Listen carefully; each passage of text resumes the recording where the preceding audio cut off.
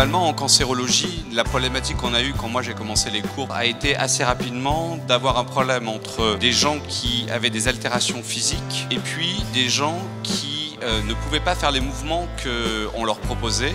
On a eu l'idée de monter l'enquête podium parce qu'on avait besoin de faire un état des lieux un petit peu sur la pratique de l'activité physique et sportive en cancérologie.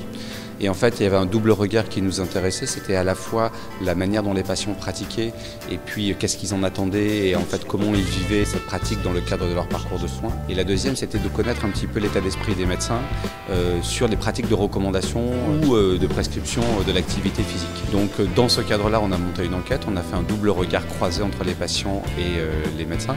Et en fait, on a été assez positivement surpris des résultats parce que finalement, il y a beaucoup plus de médecins qui parlent de l'activité physique et avec des attentes très précises et de la même manière avec les patients, un engagement quand ils s'engagent dans l'activité physique assez important et avec des attentes aussi très précises. On va prendre un quart d'heure et je vous propose pendant un quart d'heure de jouer le jeu, de vous mettre à la place du patient. Sur le premier travail de musculation, ce qui va nous intéresser, c'est comment la personne réagit à une sollicitation, qui est une sollicitation musculaire. Tirez la colonne vertébrale, cherchez à sentir les appuis dans le sol, et dans l'expiration, vous allez repousser les pieds et remonter doucement en soufflant. Restez, restez en bas, je vous en prie.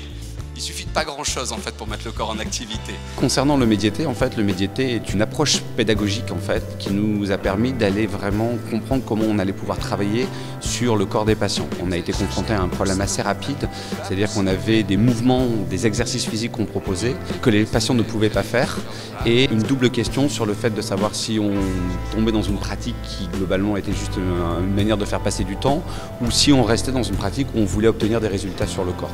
On a choisi la deuxième option et on a été obligé de repenser en fait la totalité de notre modèle pédagogique. Et le médiété est né en fait de la recherche d'une action euh, mécanique du corps pour arriver à permettre à des gens physiquement altérés d'être capables malgré tout de faire des mouvements. Vous allez inspirer, vous allez guider les jambes et amener les mains ici. Et en mouvement les coudes sur le côté, tirez bien, fermez la cage thoracique, ouvrir le dos, allongez, comme si vous faisiez un arrondi.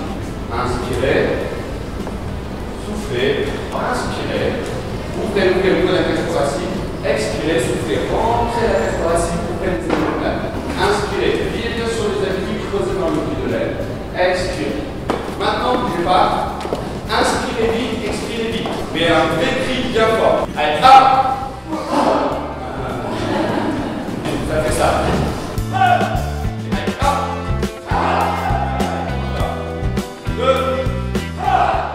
on cherche sans arrêt à revenir sur le mouvement de la cage thoracique, le placement des épaules, la verticalité de la colonne, etc. etc. Mais voilà un petit peu le type de travail qu'on fait. Merci.